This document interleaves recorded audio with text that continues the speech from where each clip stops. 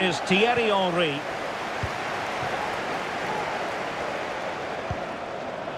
He's in here. Big chance it is.